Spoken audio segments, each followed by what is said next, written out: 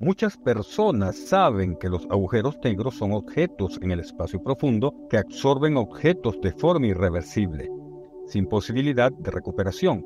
Sin embargo, ¿qué pasaría si te dijéramos que en realidad vivimos dentro de un agujero negro? Seguimos a uno de los científicos más prominentes de la actualidad, Michio Kaku, mientras revela esta impactante verdad. Nuestra existencia ocurre dentro de un agujero negro supermasivo. Además, discute las nuevas imágenes del telescopio espacial James Webb que contradicen la teoría del Big Bang erróneo. Acompáñanos para ver lo que Michio Kaku tiene que decirnos y exploramos estas nuevas y emocionantes imágenes realizadas por el telescopio James Webb que contradicen la teoría del Big Bang. Si estás interesado en mantenerte actualizado sobre noticias del universo y sus alrededores, suscríbete a nuestro canal Espacio Tiempo. Asegúrate de darle me gusta a este video y activar la campana de notificaciones. ¿Alguna vez has creído algo durante mucho tiempo y luego te has dado cuenta que no era cierto? Probablemente no menciones el Big Bang, ya que es una explicación bastante popular sobre cómo llegamos aquí. Sin embargo, con la llegada del telescopio espacial James Webb, la teoría del Big Bang está siendo desafiada. James Webb ha hecho observaciones que obligan a los astrónomos a reconsiderar sus ideas sobre el origen del universo. El físico teórico Michio Kaku describe los últimos descubrimientos impactantes del James Webb de esta manera. El problema es que el telescopio espacial James Webb está sacudiendo los cimientos establecidos. De repente, nos damos cuenta de que tal vez tengamos que reescribir todos los libros de texto sobre el origen del universo. ¿Cuál es el último descubrimiento exacto del James Webb que ha llevado a eminentes científicos a replantear el origen del universo? He aquí la revelación. El James Webb ha identificado seis galaxias que existen mil millones de años después del Big Bang y diez veces más grandes que la Vía Láctea. Esto es sorprendente, ya que normalmente se necesitan miles de millones de años para crear una galaxia como la nuestra, con cientos de miles de millones de estrellas. El telescopio James Webb está desafiando nuestras ideas preconcebidas y haciendo que los científicos reconsideren el origen del universo. Sin embargo, surge la pregunta, ¿por qué el descubrimiento de estas seis grandes galaxias contradice la descripción convencional del origen del universo? Estas galaxias no deberían ser más grandes que la Vía Láctea que solo tiene 500 millones de años. Algo no cuadra y tal vez necesitemos revisar nuestra teoría sobre la creación del universo. Las galaxias mencionadas por Michio Kaku, que contienen cientos de miles de millones de estrellas, surgieron cuando el universo solo tenía entre 500 y 700 millones de años. Esto es significativamente más temprano y rápido de lo esperado. Según los modelos actuales de formación, que sugieren que las cosas se agruparon gradualmente con el tiempo, el enigma de cómo estas galaxias se formaron tan rápidamente puede requerir una nueva comprensión de la física o nuevas técnicas para explicar su creación. El descubrimiento de estas galaxias desafiantes fue realizado por un equipo de astrónomos liderado por Ivo Lofi de la Universidad Tecnológica de Melbourne, de Australia, utilizando las primeras fotos de James Webb publicadas en julio de 2022. Capturaron imágenes de un trozo de cielo 100 veces más pequeño que la luna llena. Estas imágenes fueron obtenidas con la cámara NIRCam, uno de los cuatro instrumentos principales del James Webb. Esta cámara permite observar objetos en longitudes de onda infrarrojas, estiradas debido a la expansión del universo, que son invisibles para otros telescopios debido a su debilidad o lejanía. Los investigadores descubrieron aproximadamente una docena de objetos excepcionalmente brillantes y rojos en estas imágenes de la cámara cercana. Utilizaron una técnica llamada estimación fotométrica del desplazamiento al rojo para calcular la diferencia entre cada objeto, basándose en cuánta luz ha sido desplazada hacia el rojo debido a la expansión cósmica. Seis de estos objetos presentaron desplazamientos al rojo extremadamente altos, entre 9.5 y 11.5. Esto implica que su luz tiene poco más de 700 millones de años, en comparación con la galaxia más lejana confirmada, que tiene un desplazamiento al rojo de 11.1 y que fue descubierta en el 2016 por el telescopio espacial Hubble. Utilizando modelos de evolución estelar, los científicos calcularon cuántas estrellas cada una de estas galaxias necesitaría para emitir toda su luz. Descubrieron que las masas estelares de estas seis galaxias oscilaban entre 10 y 100 mil millones de veces la masa de nuestro Sol. Esto es comparable a, o incluso mayor que, la masa de nuestra propia galaxia, la Vía Láctea, que contiene aproximadamente 60 mil millones de estrellas y ha tenido más de 13 mil millones de años para crecer. Estos hallazgos son sorprendentes y desconcertantes por varias razones. En primer lugar, implican que estas galaxias se originaron rápidamente y de manera eficiente en un corto periodo de tiempo, transformando la mayor parte de su gas disponible en estrellas. Esto contrasta con la visión convencional de la formación galáctica, que predice que las galaxias comienzan pequeñas y gradualmente crecen fusionándose con otras galaxias o acumulando gas de su entorno. En segundo lugar, estas observaciones contradicen las teorías cosmológicas basadas en el estudio del fondo cósmico de microondas del Big Bang, que indican que estas galaxias tienen más desorden del que era accesible en sus regiones del espacio en ese momento. En tercer lugar, el hecho de que estas galaxias ya hayan producido un gran número de estrellas viejas y rojas implica que han pasado por numerosas generaciones de formación estelar y enriquecimiento químico. Esto plantea preguntas sobre cómo surgen y crecen las estrellas en un entorno prístino. Una posibilidad es que las mediciones o supuestos en los que se basan estas observaciones sean incorrectos. Es posible estos objetos no sean galaxias, sino más bien cuásares u otro tipo de núcleos galácticos activos, llamados AGN, alimentados por agujeros negros supermasivos. Los AGN pueden parecer increíblemente brillantes y tener un corrimiento al rojo similar a las galaxias lejanas.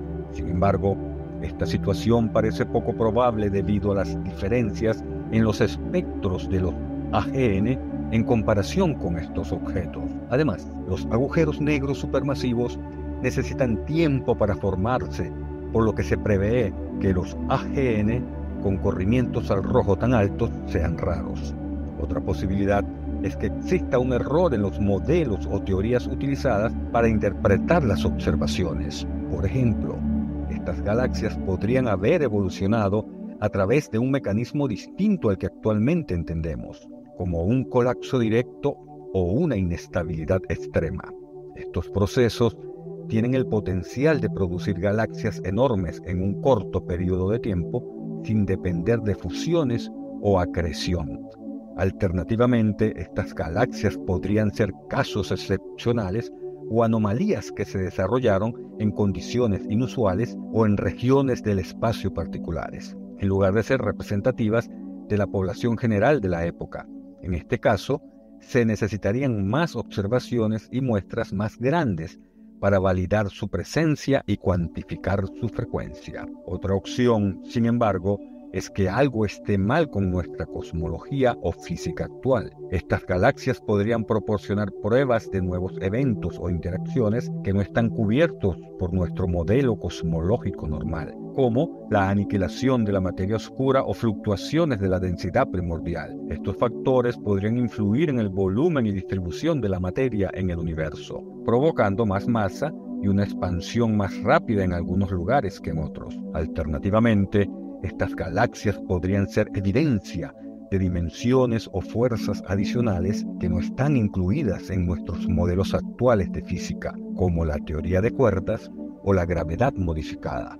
Estos conceptos podrían tener un impacto en cómo la luz viaja a través del espacio y el tiempo, alterando su brillo percibido y su corrimiento al rojo. Sin embargo, todas estas son posibilidades teóricas que requerirían más investigaciones y evidencias para confirmar. Sin embargo, Michio Kaku tiene una explicación para los últimos descubrimientos que involucran agujeros negros detectados por el James Webb. Según él, estos no son galaxias bebé, sino agujeros negros monstruosos esta idea desconcierta a los científicos porque no encaja en la secuencia normal del nacimiento de una galaxia.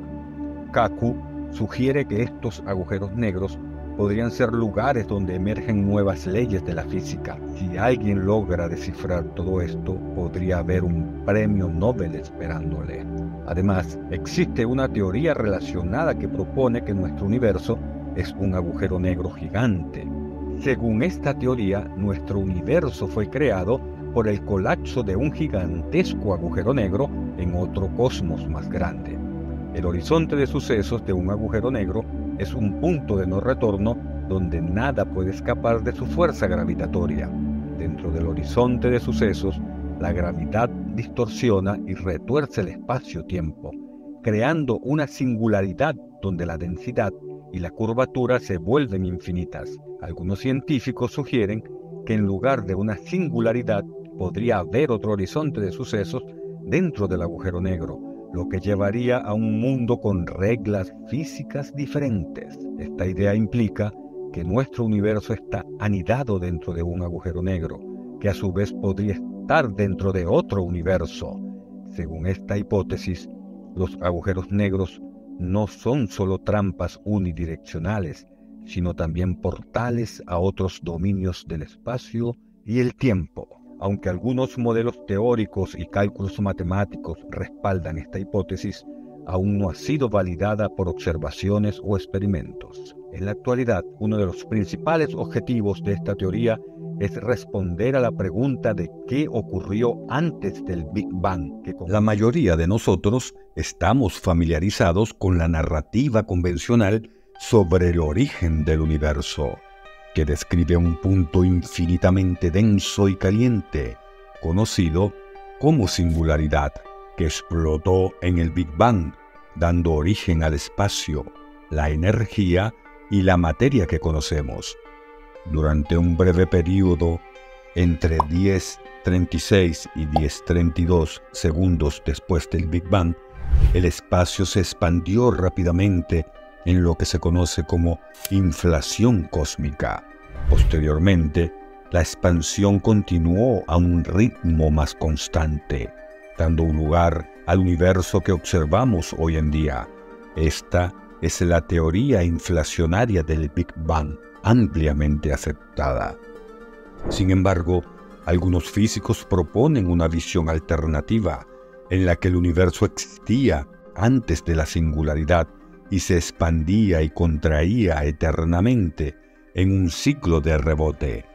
Según esta expectativa, el Big Bang no sería tanto un estallido inicial como un momento en el que el universo en contracción cambió de dirección y comenzó a expandirse nuevamente. En esta teoría, la expansión actual del universo podría ser seguida por un eventual colapso y otro rebote en el futuro. Algunos físicos incluso sugieren que este ciclo de rebote podría ser infinito, desafiando así la visión convencional de un único inicio del universo. Es importante destacar que esta no es la única teoría que cuestiona la narrativa predominante en la cosmología, lo que indica que el Big Bang no es necesariamente el punto final en nuestra comprensión del universo. El renombrado físico Brian Cox plantea interrogantes sobre la teoría del Big Bang, al señalar que es improbable que algo surja de la nada. Además, menciona que el telescopio espacial James Webb ha revelado descubrimientos inesperados que desafían la idea de que el Big Bang marcó el inicio absoluto del universo. Esto nos lleva a preguntarnos qué ocurrió antes del Big Bang y si el universo podría haber tenido un origen diferente, como un rebote u otro fenómeno.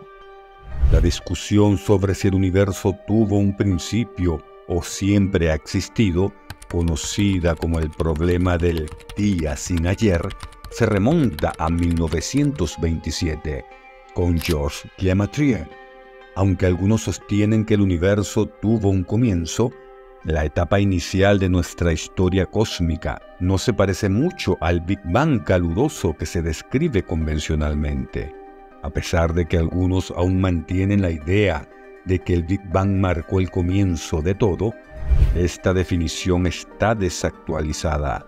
Hoy sabemos que hay una gran cantidad de evidencia que sugiere un origen no singular para nuestro universo. En lugar de un Big Bang tradicional que marque el nacimiento del tiempo y el espacio, nuestra comprensión actual sugiere un período inflacionario que ocurrió antes. Durante esta inflación, el universo estaba vacío sin partículas ni materia, pero con una enorme cantidad de energía en el espacio vacío. Esta energía fluctuaba ligeramente con el tiempo y a medida que el universo se expandía durante la inflación, estas fluctuaciones dieron lugar a la materia y la energía que observamos en la actualidad. Las fluctuaciones que observamos en el universo se extienden a diferentes escalas las fluctuaciones a pequeña escala están presentes en la parte superior, mientras que las de escala mayor están en la parte inferior. Esta superposición de fluctuaciones en diversas escalas, desde pequeñas a grandes, es una característica clave que la teoría de la inflación cósmica predice y define.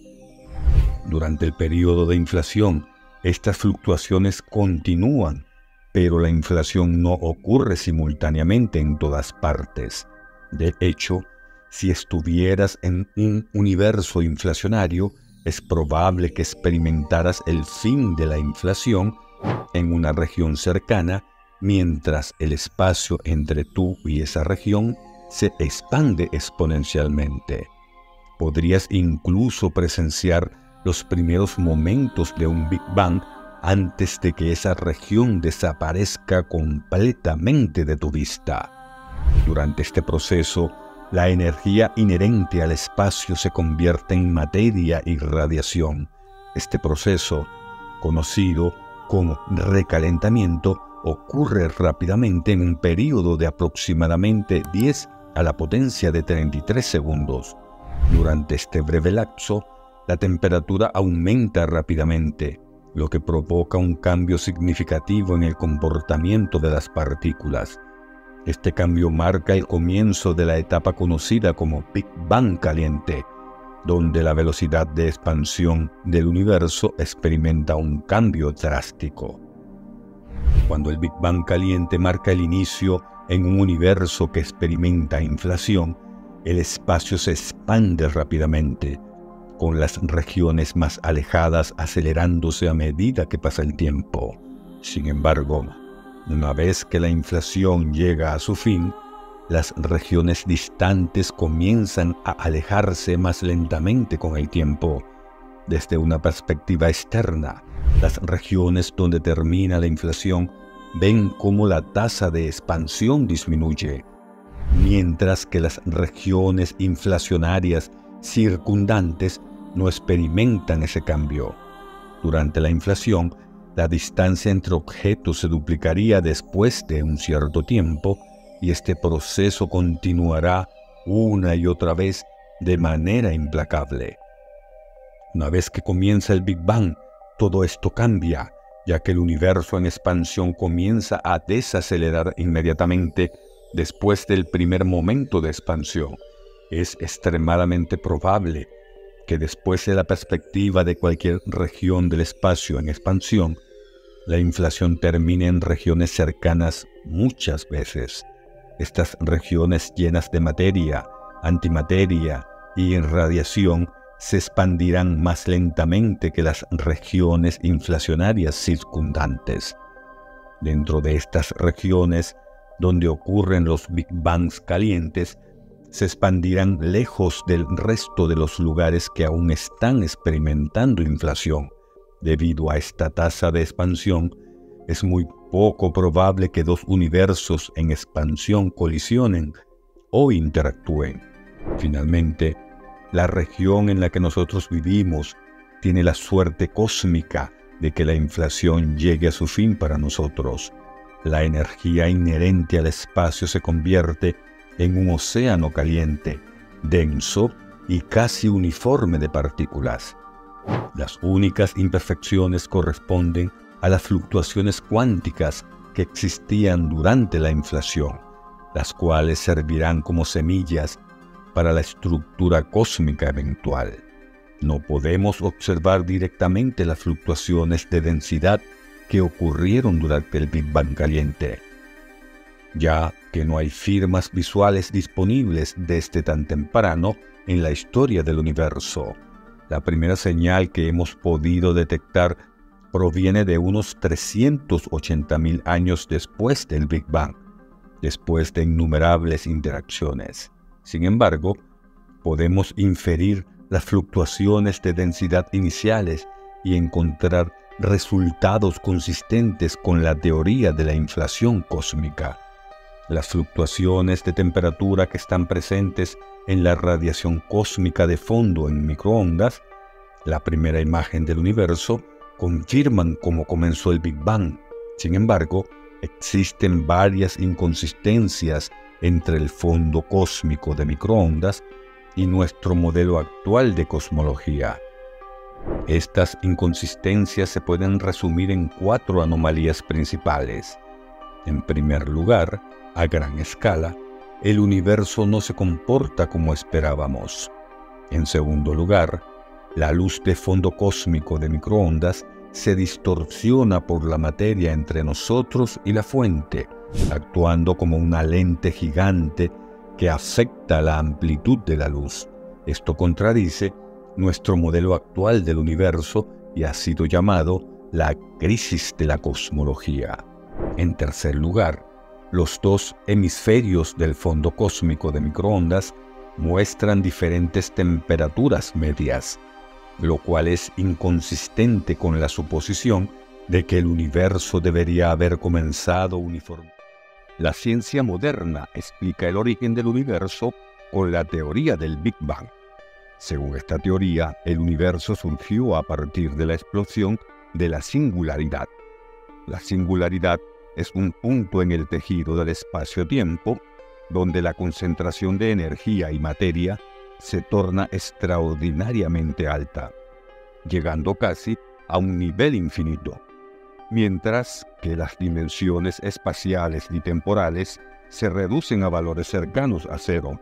Sin embargo, recientemente el telescopio James Webb ha realizado un audaz anuncio en el cual sostiene que el universo ha existido de manera ininterrumpida y que la teoría del Big Bang está equivocada en su enfoque. Si estás interesado en mantenerte actualizado sobre noticias del universo y sus alrededores, suscríbete a nuestro canal Espacio Tiempo, dale al botón de me gusta y activa la campana de notificaciones. El concepto de singularidad describe un estado donde no existían ni tiempo, ni espacio, ni materia. La cuestión que surge es la procedencia de esta singularidad, lo que la precedió y qué evento desencadenó los eventos que culminaron en el Big Bang se debate si el universo ha existido eternamente o si tuvo un punto de inicio definido. La singularidad que precedió al evento del Big Bang contenía la totalidad de la masa presente en el universo, y esto resultó en la completa suspensión del flujo del tiempo. Esto se alinea con la perspectiva propuesta por Einstein, la cual sugiere que debatir sobre lo que ocurrió antes del Big Bang carece de sentido dado que la noción de un antes no tiene cabida. La idea de que el universo no se está expandiendo en un espacio vacío puede ser difícil de concebir. Esta concepción se basa en una teoría conocida como la teoría de la relatividad general de Einstein, que él desarrolló en 1915 y que sigue siendo hasta el día de hoy nuestra mejor descripción del espacio y el tiempo. Esta teoría es el fundamento de muchas de estas ideas interesantes y peculiares.